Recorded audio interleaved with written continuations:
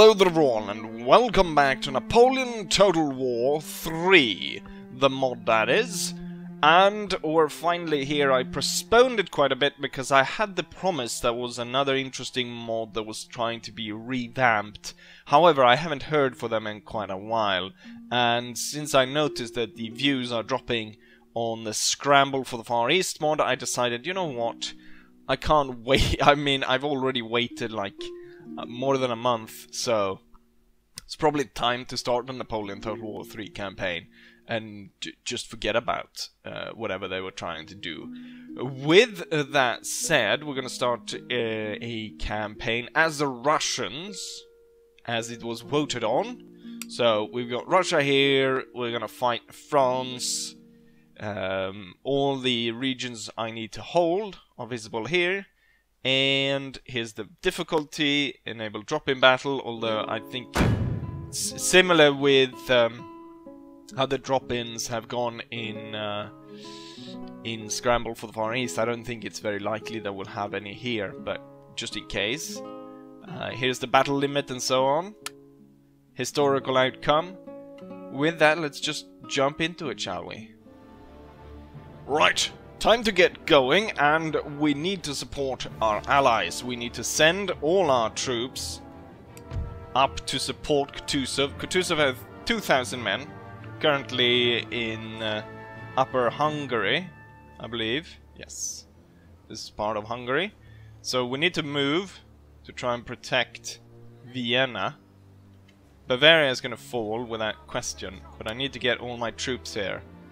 I'm gonna try to, as much as possible, avoid war with Prussia, but if war comes with uh, the um, Ottomans, that wouldn't, uh, that wouldn't, I wouldn't mind that. Here we got another army, we need to send that down, so we've got three generals. I do have a lot of extra troops here and there. Um, looks like we're gonna have to hold some troops here, but I don't want to hold Oh, no, I don't actually need to hold any troops there. So march down. What I can do is I could re recruit some uh, really cheap uh, recruit musketeers or the Obligeni to hold that area down. I want to send as much troops forward as possible. We can send troops from here as well. And then Odessa, frontiers with the Ottomans. Uh, we might hold troops. Definitely need my spy up here so I can see where Napoleon is coming. And then the Moscow garrison. We'll march that forward to the front as well. Then there's a lot of stuff that needs modernizing in Russia. Starting with the roads, we have no roads whatsoever to start off with. So we, I need roads in all these areas. It might be, I've thought about, you know, having certain areas intentionally have bad roads to stop an invading enemy. But the thing is, I kind of feel that um, I don't want to. I don't want to let it go that far. Also, our navy needs to be moved forward. It needs to hold the trade ports rather than being all the way back there. Also, I need to send out my trade fleet. First off, expand it a little. So we have all the four ships we can, and then maybe adding another ship for protection. And then we need to see if we can try to get the best resource, which I think we safely can get, which is the spices from Malta. Um, obviously the best one would be to get uh, Ivory, but that's way too close to enemy Spain. So, and uh, I don't think we're gonna take on Spain in a naval conflict. Then also, there's a lot of areas which are built for recruiting troops, but this one area stuff uh, I'm actually gonna make into administration offices instead, I think. Or, you know what? I think... So, 3 plus bonus to tax in region. While this one... Wait. While this one gives 4 to 8. I don't know which is best, actually. Because they're seemingly quite similar. 6%, while this one gives 8% tax bonus read. Maybe it's better to have the barracks then. I was under the impression that I would need to switch this. It might be better to have the barracks then, because they add 8 bonus. 8% bonus. While these add only by increments of 3, while these adds in increments of 4. Plus it seems to be doing higher repression. Oh no, the happiness is better with this. The happiness is a lot better with this than this, because this just gives 2 in repression, this gives twice. But the barracks actually gives more money. So I think we'll go for money, won't we? So we'll go ahead and upgrade those. Um, where areas that are unhappy to start with might actually need to get an upgrade on these buildings certain areas like these out here. And this area. Also upgrading ports would be great and now I'm out of money. And with that we should start looking to trade. Start with Ottomans. I'm gonna try to trade with as many people as possible. Sicily yes Actually, I should go for the big nations first, but I think I have plenty of room to more or less get everyone. Did we have the con... Oh yeah, he took all my money there. I uh, should have play, paid more attention there. Now I don't have any money to give away, so I don't think anyone else is going to ask for it. Okay, they... Mecklenburg finds it, finds it unacceptable. And Portugal. So now I have loads of trade. This should have... Oh, we're still losing money? We'll go bankrupt if I don't change that. We'll up the tax on the nobility just a little bit, just so I get into the black. And then what I want to do is alliance with Prussia. And they agree, and that is one of the starting quests you get. So now I gained a thousand. You know what? Now I want to rescind something. Actually, all these buildings that I built in these areas. Or areas really... Russia has a load of these logging camps. And upgrading the logging camps reduces the cost of building stuff in the region by a lot. So I definitely want to get quite a lot of these, or at least upgrade the really bad camps. So three really bad camps there. This one's okay, but we should probably get that to the next level as well. So now we're allied with the Prussians. We've got modernizing of Russia going on, making very little bank though. Happiness is going down because we're taxing. Um, right. There's not much more I can do. Let's go ahead and end turn and see what uh, our opponents come up with. Oh yeah, uh, technology. Let's go with the cash first. Oh yeah, I should look at, into my agents. We have one guy. Thing about the Russians and the technology, they've put it so far out that it's, I guess that almost Siberia, like they to hamper Russian technology, they put the the only college we have as far away. Like they've even made like an like it extends over here. No roads, no nothing. Like all the way out here. Like they didn't put the logging camp that far out. But here's the college. So far out. If I could if I could, it would be nice to maybe have another one. But I guess we'll be backwards Russia, as always. Now we'll end turn. And here we're done with the end turn. The French have moved in, they've taken Bavaria, and they've created the Confederation of the Rhine. Kutuzov should continue forward, and so should all my armies. We have a little bit more cash, which I'm going to spend on building this camp.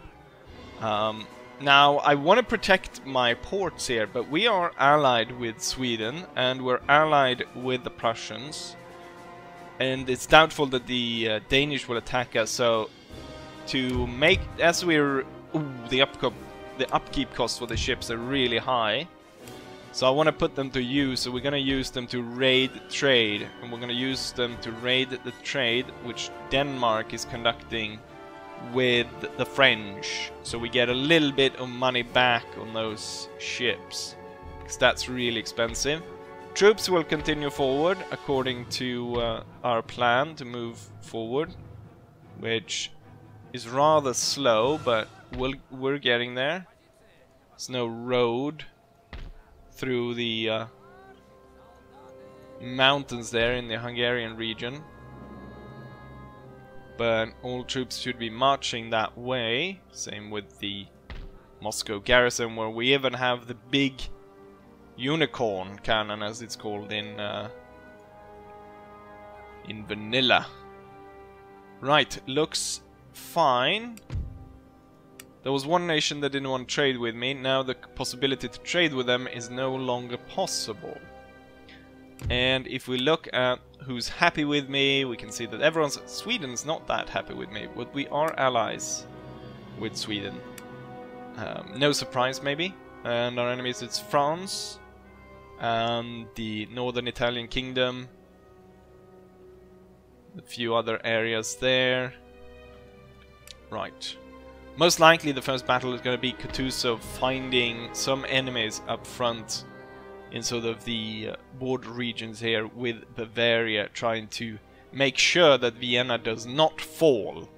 Uh, hopefully the Austrians haven't overextended themselves this time around um, due to some mishap in uh, collaboration with the with uh, setting the dates on the calendar and so on. Let's go ahead and end turn and see if we can't come to a battle. We have another agent recruited. He's gonna have to walk all the way out here. God awful. And we have a mission issued. Settling old scores, Finland. Capture city Orbo. We are at war with France. There is, however, a lot of spare time separating time and space separating our nations. There's an old score we must settle to the north Finland, long rightfully ours, since this and since Sweden is weak, desolate and barren, a match, uh, it's not even a match for the smallest of our army. I let's say take it, it's rightfully ours. We get 2000 gold for that, which is pretty good considering I'm only making 450 a turn. However, since Sweden is also allied with the rest of the coalition, upsetting the coalition at this moment is not an ideal opportunity. Also, I believe that Finland in the long run, I mean, just as he said Sweden is barren, what the crap do you think Finland is? They do have the merchant house, and they do have another logging camp over there, but I doubt we should try and upset the uh, the the main alliance just to take control of Finland. That seems um, a bit risky.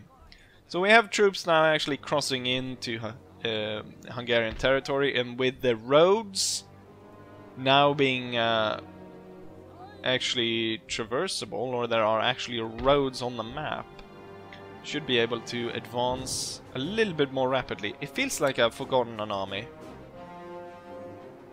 which is Kutuzov, of course. Kutuzov will march briskly all the way to the front, and there's no enemies to be seen. Maybe I should wait for my spy to turn up. He's he's right here. It it will, however, take him. Let's see, one, two, three, four turns until he gets here. Uh, so I mean, it would be very risky to send my best commander and a really good army straight into unknown territory. We don't know how, what the French have here. So maybe on, on, on this point forward, we'll be a little bit more cautious walking into that territory. I do have hussars, which I could use to scout for uh, in front of that. And I should now be able to attack some of the trade of my enemies. We're gonna attack there. So I might be able to get a little bit more money per turn. Okay, so how much am I? I am 40! I'm able to raid 40 from trade. We definitely need to get those trade ships going. Should be one turn away, and then I can sail the entire fleet down to get spice. Hopefully no one else has taken up this post. Because uh, I don't think we'll make much from the coffee or the fur, which you get out here if we look at trade. Coffee 17, fur 22. Fur is better than coffee then. Right, let's go ahead and end turn and see if we can't come to battle this time around. It's now time to move into Bavaria and figure out what's going on. We'll march up to the border and then I'll detach my hussars to scout ahead of me. There's a small French force situated within town. Beyond that, I cannot see. We could definitely take it and re-establish Bavaria. Or just maybe even loot it. We're gonna march into enemy territory, see if the the little garrison takes the bait. There could definitely be more French in the region. We gotta keep an eye on just what happens on the map. Like certain areas might fall, like this might very well fall to the French. This this usually falls to the Austrians. They have burned this place. So we'll keep an eye out.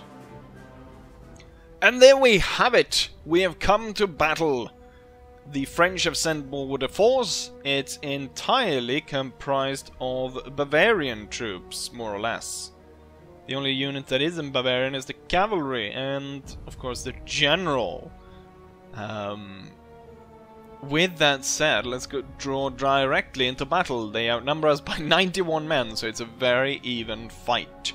So, for this first battle of Napoleon Total War 3 Russia campaign, Let's see what Kutuzov have and if he's able to bring down the French in Bavaria.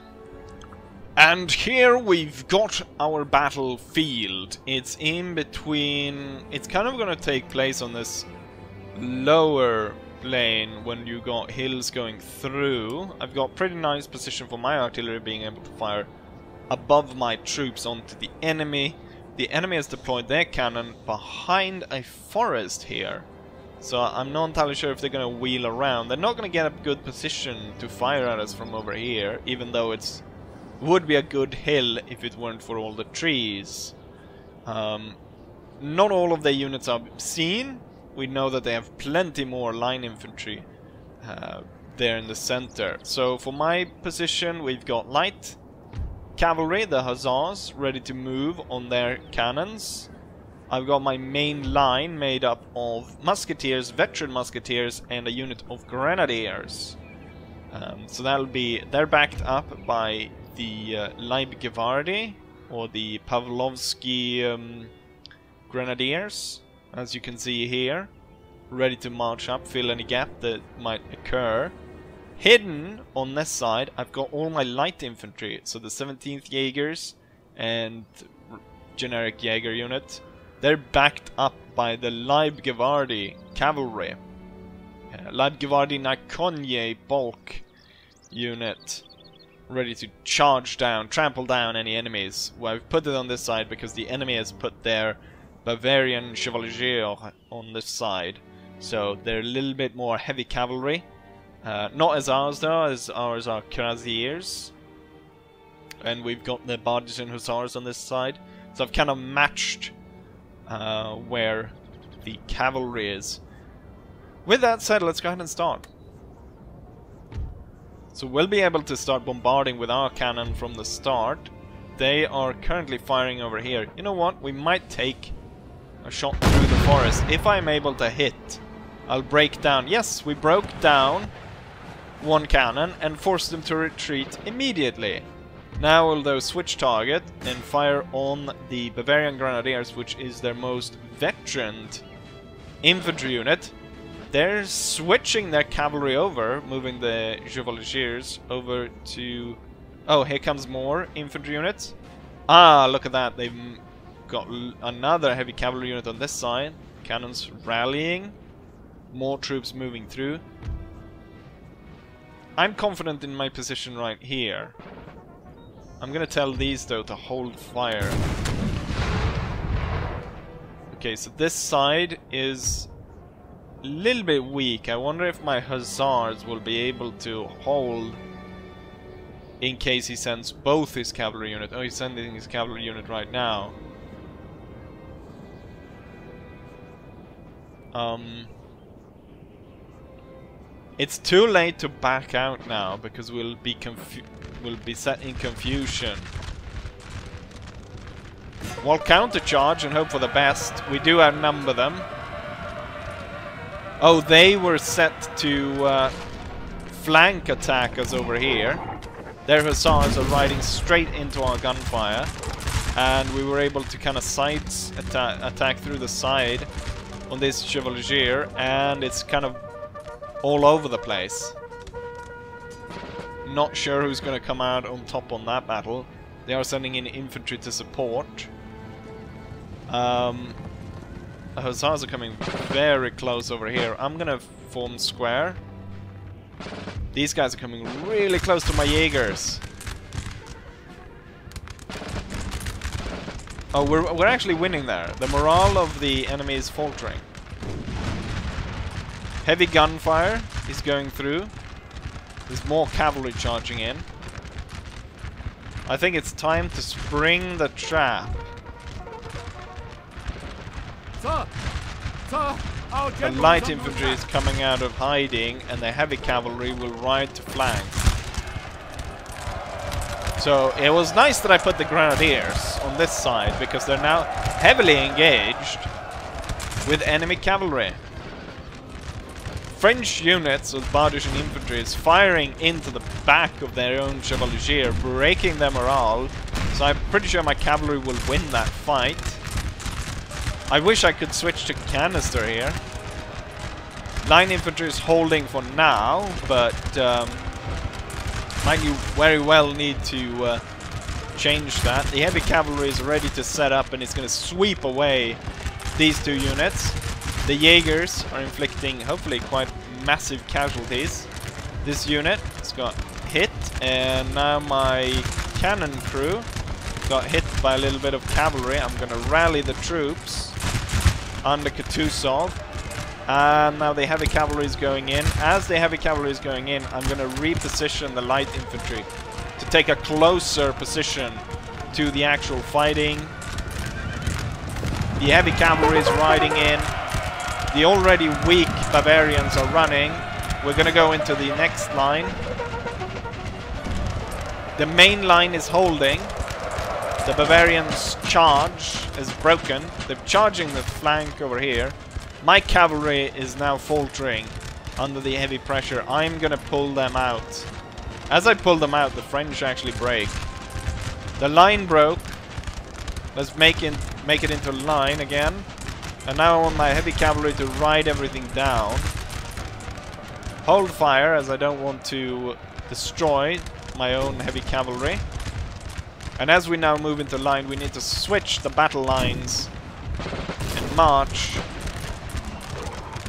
onwards towards this area. I'm going to tell the cannons to hold fire. Let's have the guard march in column across here, set up and march across the hill to get these my cavalry has disengaged. They've lost quite a lot of manpower. They're very tired.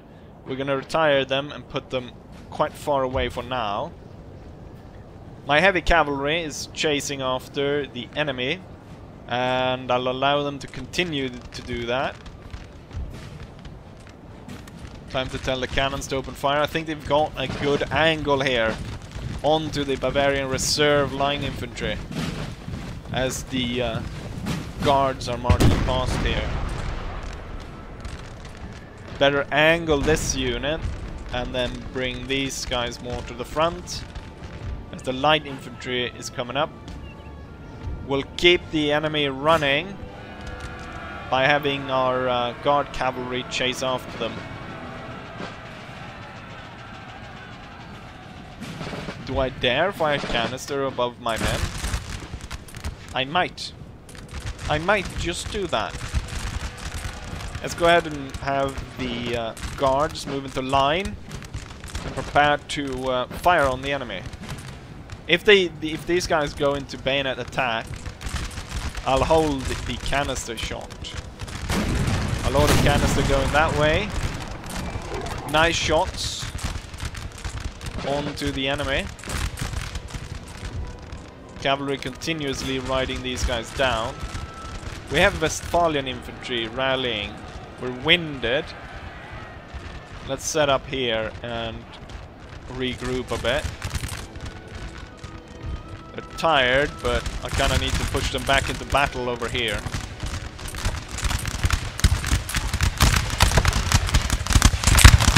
Keep up the firing. I think with the canister, this unit is definitely gonna break, which it is. And now we just need to push the advantage on this single unit. I'm gonna tell the cannons to hold fire at this point. I don't... You know what? Round shot might work. Kutuzov will ride up here to take a look at the situation. Heavy cavalry, they're active and encouraged. Move into position there and we might be able to sweep away the Westphalians. My hussars are moving forward, although very tired at this point. Okay, time for you to hold and return fire.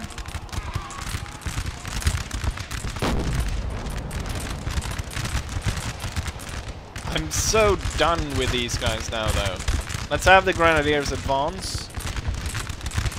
Why aren't you guys firing? Oh, because I told you not to fire. That could have made a big difference. Light infantry firing up the flank. I forgot to tell these guys to fire. Why did no one tell me? Miscommunication. Right now my guard is getting hit very heavily by the enemy. Very nasty.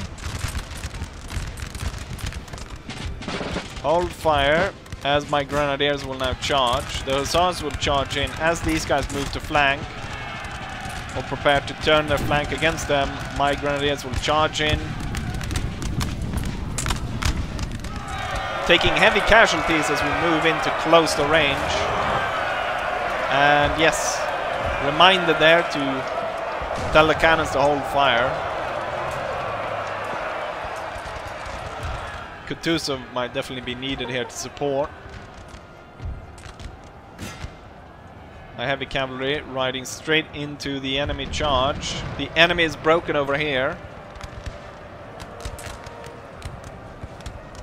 And we are victorious, and the enemy was broken over here as well. My grenadiers sent them away. Let's keep up the march forward. Let's continue the heavy cavalry charge into those cannons. And at this point, the only unit that remains Glorious victory, sir, is soon to be yours. is the enemy general. He's the only one to remain, except the well, the cannons are still there technically. Starting to fire across here. Why haven't you? It's quite easy, just ride the cannons down.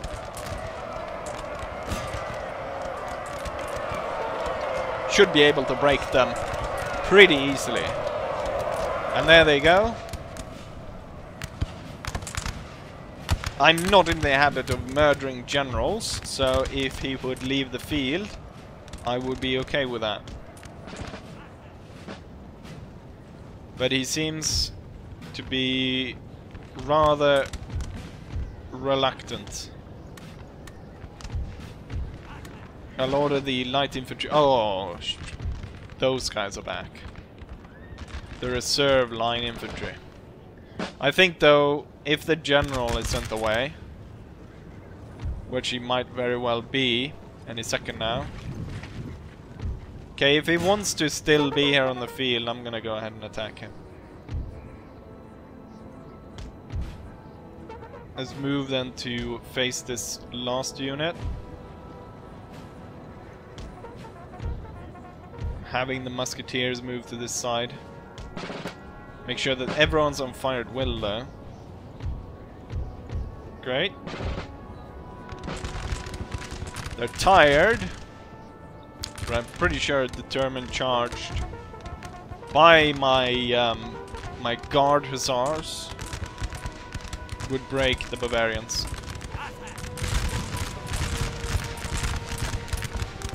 Pushing down a lot of fire, they're turning to face the hussars now. As that's happening, I'm ordering the advance of the infantry to meet them. I told my cuirassiers to go after the enemy general. There we go, the infantry is now broken. And they won't be coming back. We have killed their general, sir. Now they Oh. must break. Well, he, he decided to stay on the field, so I gave him plenty of opportunity to run. But he stood on the field, then he'll die on the field with his Bavarian troops.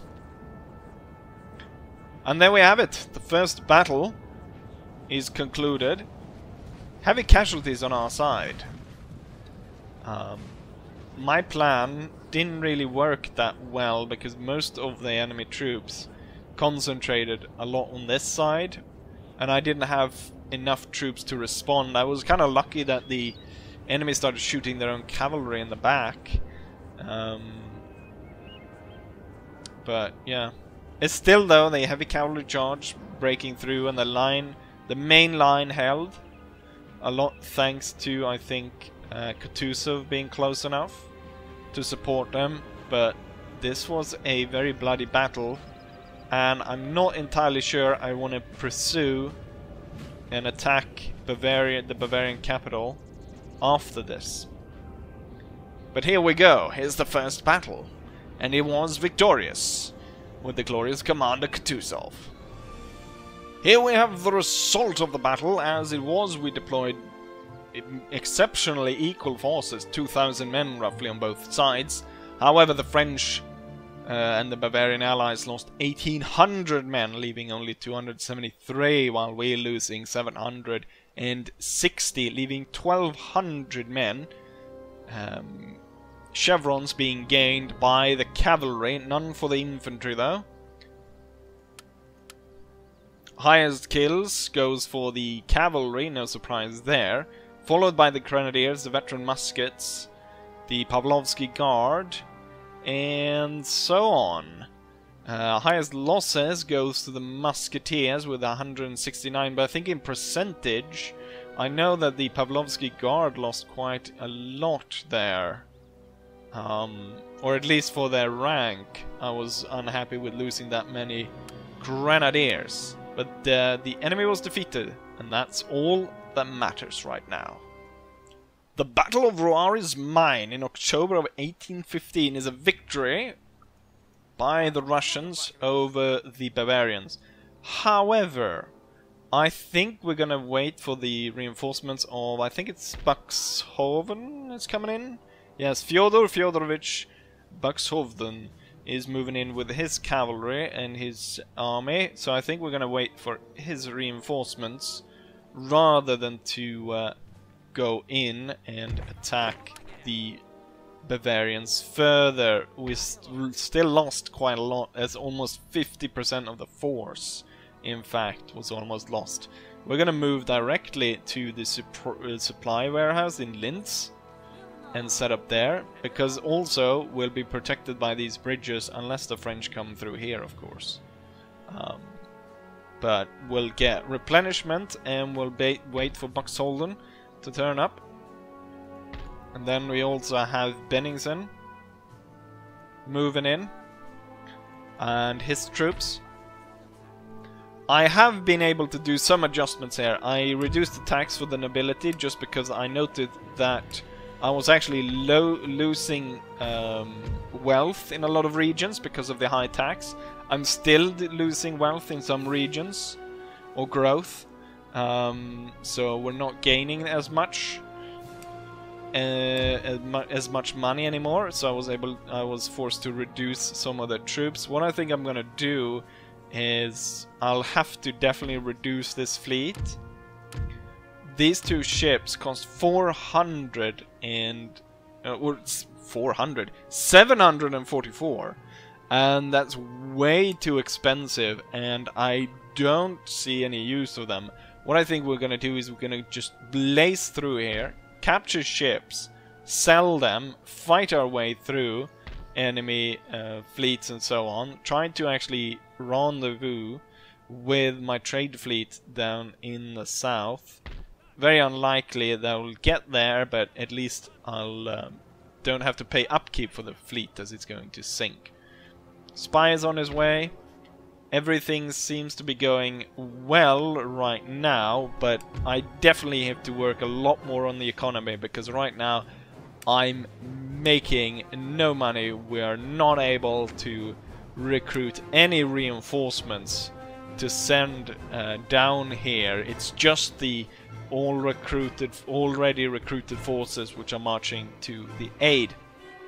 With that said, this was the first video in this series. I hope you enjoyed it, and as always, I hope to see you for the next one. Bye.